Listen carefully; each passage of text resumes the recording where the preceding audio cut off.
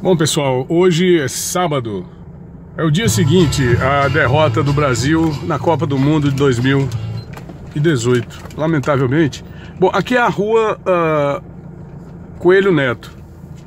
Estamos entrando aqui na rua Coelho Neto. Eu falei muito na rua Coelho Neto ao longo do meu mandato como vereador, porque foi uma das ruas que eu lutei muito para trazer o calçamento e em determinado momento nós havíamos inclusive conseguido os recursos junto ao IDEP para fazer aqui o calçamento desse eh, logradouro importante aqui no centro da cidade. É uma rua eh, que liga com conjunto Mutirão 2, que liga com o bairro DNR, que liga com o batalhão Bacurizeiro, uma série de, de conjuntos e bairros aqui da nossa comunidade autuense. E mais uma vez a prefeitura, nesta semana da da Copa do Mundo aí, em que estava todo mundo envolvido com a questão da Copa, a prefeitura colocou apenas é, pissarra e novamente fez, uh, colocou uma patrol para raspar essa rua, a rua Coelho Neto.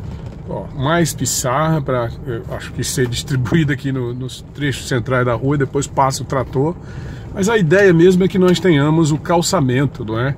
Acredito que não faz mais nenhum sentido uma rua uh, no centro da cidade, porque aqui é centro Apenas no cidade. mês de, de junho a prefeitura recebeu a importância de 5 milhões e 800 mil reais.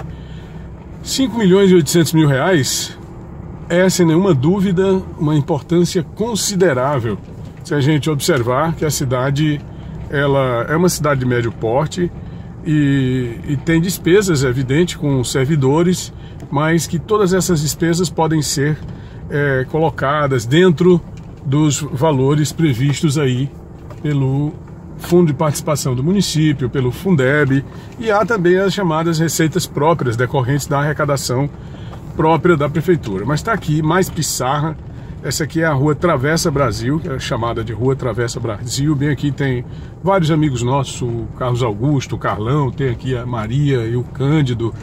É, são é muitos amigos, né?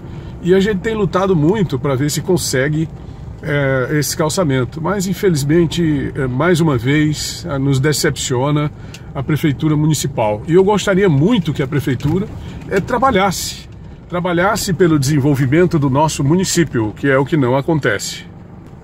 Ó, retomando aqui de onde parei, estou voltando pela rua Travessa Brasil. Está caindo aqui uma leve chuva, não é? Parece até que estava adivinhando nosso São Pedro com relação a esse meu uh, comentário de hoje, porque ontem eu coloquei no, na rede social que esses moradores, infelizmente, convivem com a poeira no, no período do verão, que aqui nós temos duas estações apenas, né, verão e inverno, e com a lama no período do inverno. Nós não estamos no inverno, mas deu essa chuva hoje, né? É muito bom que tenha acontecido essa chuva. Aqui, ó, na Travessa Brasil, a gente está passando aqui pela Coelho Neto, a Travessa Brasil, também raspada. Ah, a ideia é que haja mais pissarra ou que seja feito o calçamento. Nossa defesa continua sendo pelo calçamento ou pelo asfalto, né? uma vez que hoje nós temos aí informações inúmeras de que o governo do estado pretende ajudar as prefeituras municipais, que não precisaria.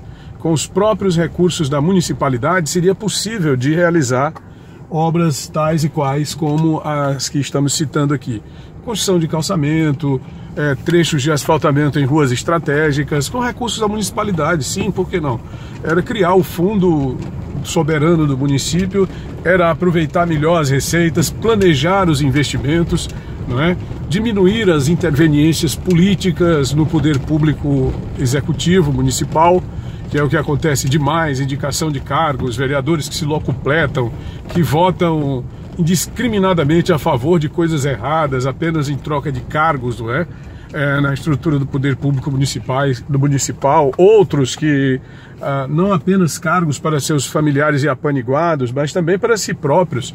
Nós temos casos aqui de vereadores que, que são professores da rede estadual de ensino e se associam a grupos políticos há décadas para não trabalhar e isso é profundamente lamentável. Estamos de volta aqui a Vicente Pestana, daqui a pouquinho chegando de novo em casa com essa chuva bem gostosa aqui no sábado pela manhã.